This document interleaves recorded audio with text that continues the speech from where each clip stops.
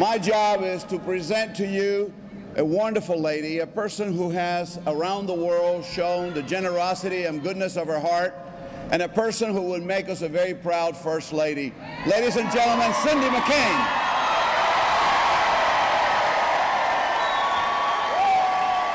Thank you. Thank you.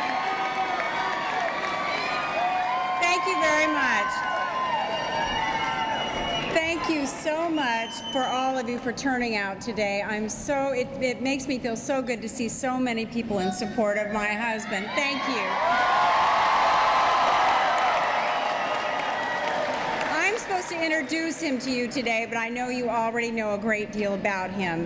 But I would like to tell you, I am just, between you and me and just the wall, I am so proud of my husband for all that he stands for and all that he believes in. And most importantly, I am so incredibly honored to be a part of this. And more importantly, you know and I know what an, an amazing president he's going to be. I introduce to you the next president,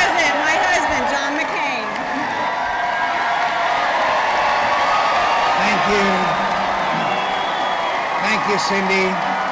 Thank you. Thank you all. Thank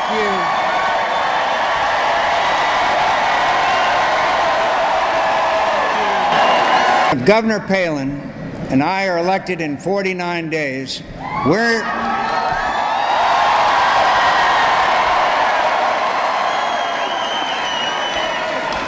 We're not going to waste a moment in changing the way Washington does business.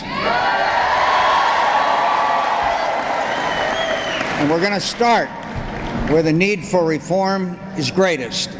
In short order, we're going to put an end to the reckless conduct, corruption, and unbridled greed that have caused a crisis on Wall Street. We're going to put a stop to it.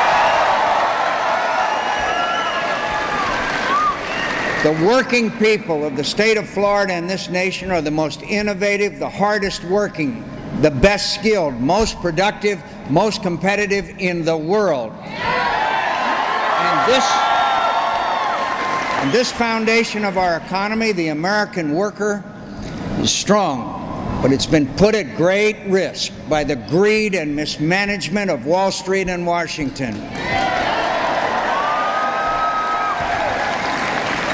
I'll give you some straight talk, my friends. The top of our the top of our economy is broken. We've seen self-interest, greed, irresponsibility, and corruption undermine the hard work of the American people. It's time to set things right, and I promise to get the job done as your president.